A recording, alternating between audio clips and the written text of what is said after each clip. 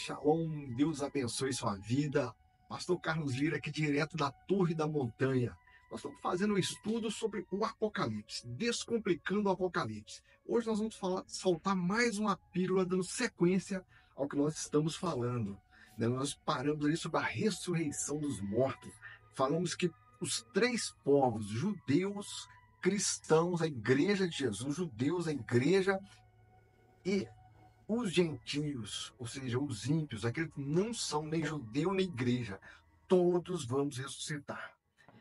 E nós vamos debruçar sobre mais sobre a ressurreição, porque a ressurreição é o cerne vital da nossa crença em Jesus Cristo. A ressurreição ela traz o sustentáculo da nossa crença, da nossa fé, porque se não há ressurreição, nós vamos ler o texto bíblico, Paulo vai dizer que a nossa esperança vã. A nossa esperança, ela se apoia na ressurreição. É por isso que o cristão não teme nada, porque ele sabe que a vida dele, como disse Davi, não se resume apenas a esta existência. Davi vai dizer que o nosso futuro nos espera. Lá no Salmo 119, Davi vai declarar: Senhor, ensina-me os teus mandamentos, porque eu sou peregrino aqui na terra.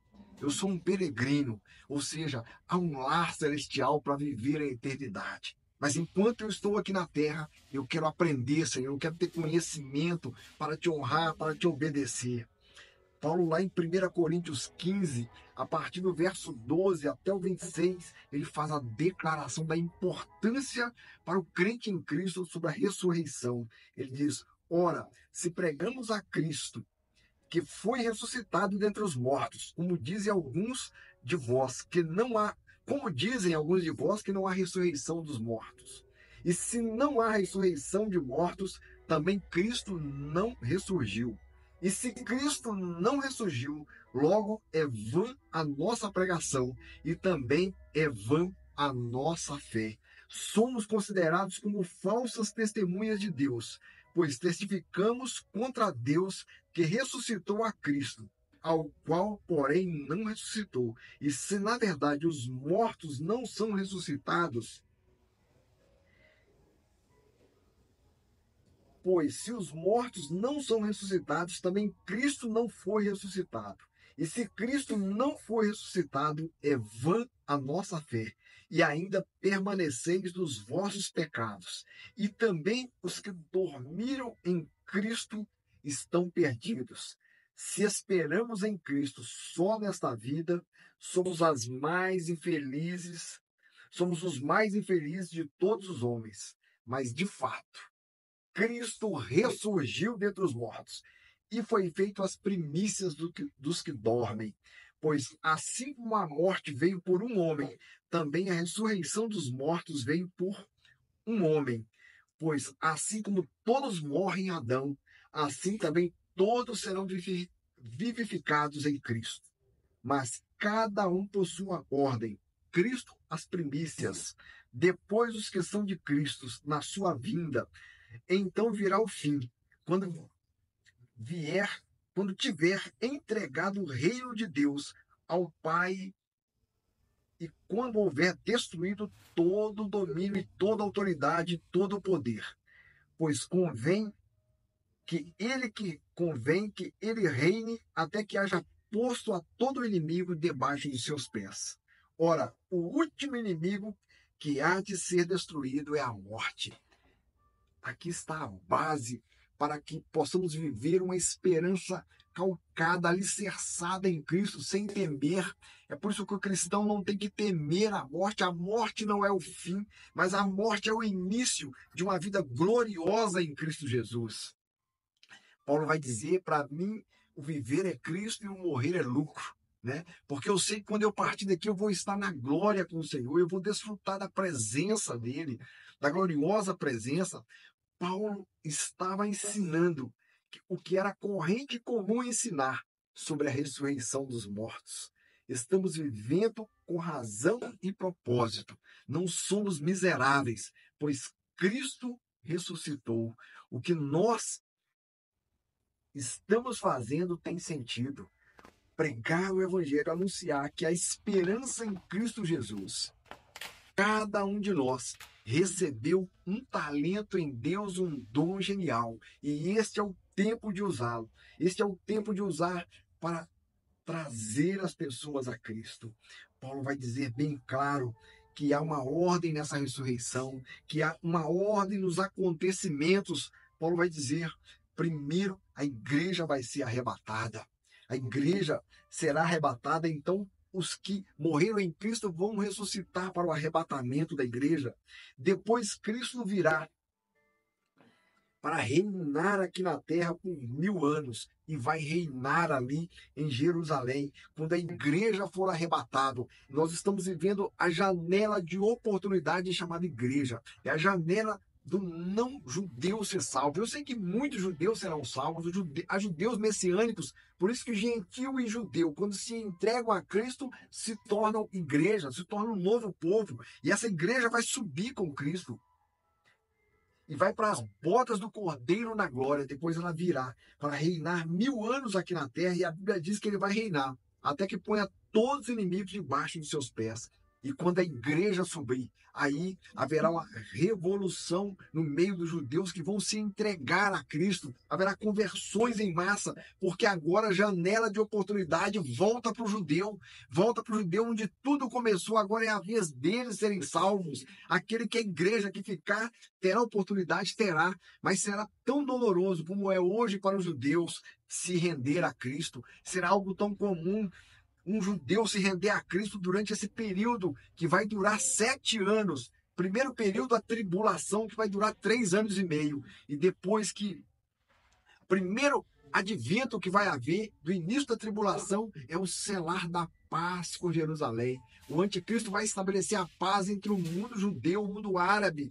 E haverá paz ali, ele vai prometer paz. Essa paz será rompida depois de três anos e meio, quando então o anticristo entrará em Jerusalém, entrará no templo e buscará adoração e vai oferecer ali um sacrifício de um animal imundo, possivelmente de um porco, para acabar com a paz com os judeus. É por isso que Jesus fala: quando aquele que estiver sentado no lugar santo, ai de vós que estiverem grávidas, tomara que isso não se dê no sábado, para que vocês possam fugir, fugir de Jerusalém, porque ali o anticristo vai decretar a morte de todo judeu, por isso que o judeu vai ter que fugir de Jerusalém. Isso vai durar três anos e meio, quando então viremos na glória com Cristo e o Cristo descerá aqui na terra e vai esmagar a cabeça de Satanás, jogando ele no lago de fogo. Isso vai durar. O Senhor vai estabelecer o trono dele na terra durante mil anos. Então, depois desses mil anos, todos vão ressuscitar. Satanás será definitivamente aniquilado, julgado no lago de fogo, e aqueles que recusaram a Jesus, que decidiram viver em rebelião, também vai ser julgado para o lago de fogo. O mesmo aconteceu, o exemplo deixado por Jesus, olhai para Sodoma e Gomorra. Eles tinham a oportunidade de sair com Ló, mas eles optaram por não sair. Depois o Senhor vai falar da arca. O Senhor falou antes da arca, do exemplo da arca. Eles tinham a oportunidade de entrar na arca. O amor de Deus para aquele povo era a arca. E o amor de Deus para o mundo inteiro é Jesus Cristo. A Bíblia vai dizer porque Deus amou o mundo de tal maneira que deu seu Filho unigênito para que todo aquele que nele crê não pereça, mas tenha a vida eterna. A vontade de Deus é que ninguém se perca, que ninguém vá para o inferno. Por isso se chama Evangelho, que é a boa notícia que nós, que, estávamos condenados para ir para o inferno, não precisamos mais ir para o inferno. Agora nós podemos ir para o céu, temos a oportunidade de morar com Cristo no céu. É a nossa oportunidade.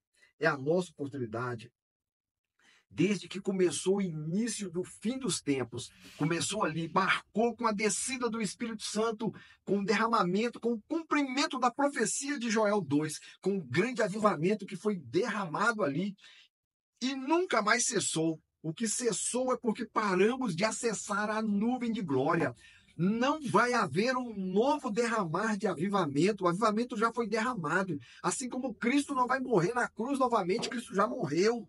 Agora é avançar. Cristo vai voltar. Nós é que precisamos acessar o avivamento e desfrutar de tudo aquilo que os apóstolos desfrutaram. Quem cessou não foi Deus, Joel 2 não vai se cumprir porque já se cumpriu. Pastor, e onde nós estamos? Os últimos dias começou em Atos 2. Nós estamos nas horas finais. Nós estamos, nós sentimos as dores de parto. Podemos descrever a catástrofe de Rio Grande do Sul como dores de parto.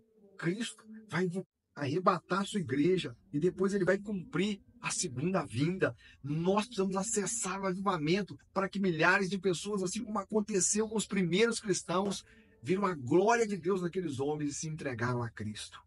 E em breve nós vamos estar anunciando aqui na Torre da Montanha, toda segunda-feira, a nossa, o nosso encontro. Eu vou chamar de culto porque será um encontro, um encontro de milagres, um encontro de fé. Será um encontro de poder e milagres toda segunda-feira.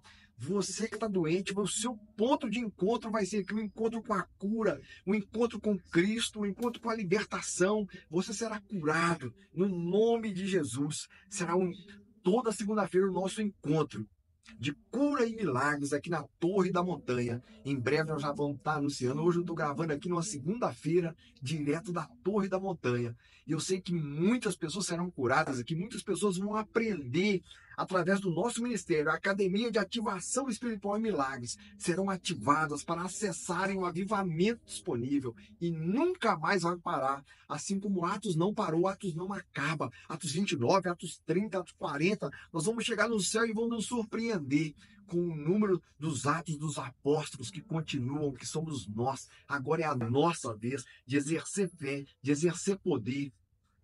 Deus abençoe sua vida.